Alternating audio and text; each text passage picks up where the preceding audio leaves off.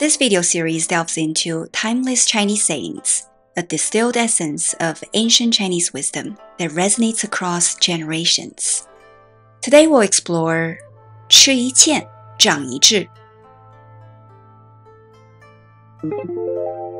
吃一堑，长一智。吃一堑，长一智。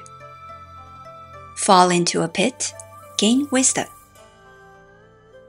A pit, 堑, is a metaphor for obstacles or setbacks. This saying conveys the idea that experiencing difficulties or making mistakes can lead to greater understanding and knowledge.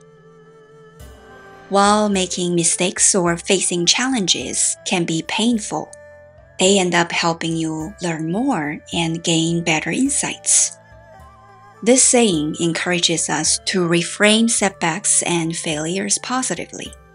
Setbacks and failures are opportunities for personal growth and wisdom. 吃一堑，长一智. What do you think about this saying?